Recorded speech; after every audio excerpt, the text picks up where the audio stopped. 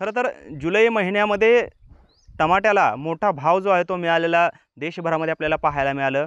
साधारणपणे दीडशे ते दोनशे रुपयापर्यंत टमाट्याचा भाव जो आहे त्या ठिकाणी गेलेला पाहायला मिळाला. मात्र आज या ठिकाणी अवस्था आपण पाहतोय की ही बाग जी आहे टमाट्याची ती पूर्णतः शेतकऱ्याच्या हातातून गेलेली आहे. त्याचं कारण असं आहे की टमाट्याला भाव जो आहे तो अतिशय पडलेला पाहायला मिळतो आहे त्यामुळे या शेतकऱ्याने जे आहे ते आता या टमाट्याची जी पूर्ण रोपं आहेत ती उपटून टाकण्याची सुरुवात जी आहे ती या ठिकाणी केलेली आपल्याला पाहायला मिळते. खरं तर आपल्यासोबत शेतकरी आहेत. नक्की गणित कसं होतं या संपूर्ण शेतीचं आणि किती खर्च केला आहे किती उत्पादन खर्च आहे?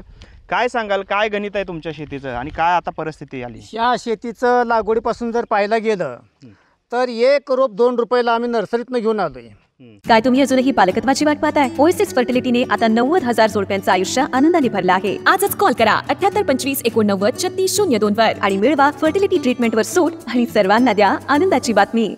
आणि त्या लागवडीनंतर त्याचा औषधाचा खर्च त्याला बांधणीला येईपर्यंत त्याची मजुरी.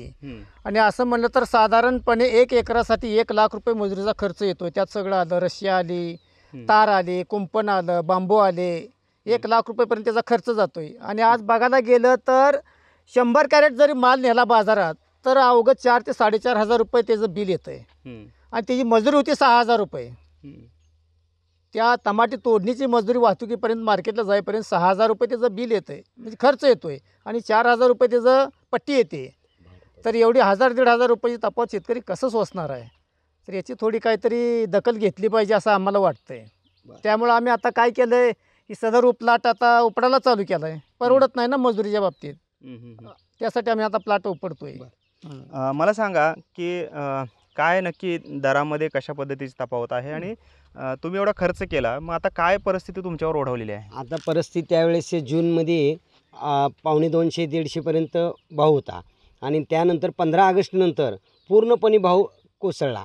आणि आम्हाला वाटत आमचं पीक जवळ आलं आमच्या हाती आलं आणि भाव असा डासळला त्याच्यामुळं आमचे आता कॅरेट चालले दोन रुपयेनं तीन रुपये किलोनं चालले. आणि आता तर आजचा तर भाव आहे दोन रुपयेच किलो.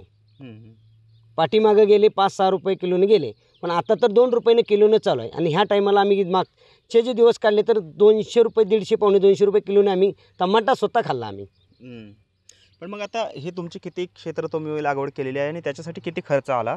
आज काय परिस्थिती आहे? आज सव्वा एकर जे क्षेत्र आहे हम्म. आणि एवढा मोठा आम्ही खर्च केला आहे त्याचा आमचा खर्चसुद्धा निघाला नाही. आणि एवढे कॅरेट वगैरे आम्ही नेतो आणि आम्हाला पदरचं रोजगार देऊन आणि भाडं बी पदरचंच द्यावं लागते. हम्म. आणि रोजगार देऊन जवळजवळ आम्हाला ह्यातून तीन चार पाच सात हजार रुपये पदरचं द्यावं लागते आम्हाला. आपण पाहतोय की खरं तर अ, शेती हा आतबट्ट्याचा व्यवसाय म्हणतात. त्याचं हे मूर्तिमंत उदाहरण जे आहे त्या ठिकाणी कारण काही दिवसांपूर्वी टमाट्याला जवळपास दीडशे ते दोनशे भाव आले. आज मात्र तोच टमाटा दोन रुपये किलोने देखील बाजारात विकला जात नाही आहे अशी एकंदरीत दयनीय अवस्था जी आहे ती शेतकऱ्यांची या ठिकाणी असलेली आपल्याला पाहायला मिळते.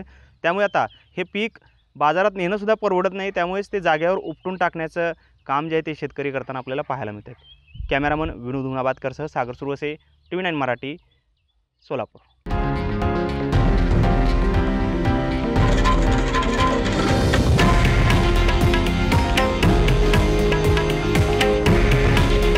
हे आहे देशातील नंबर वन न्यूज नेटवर्क.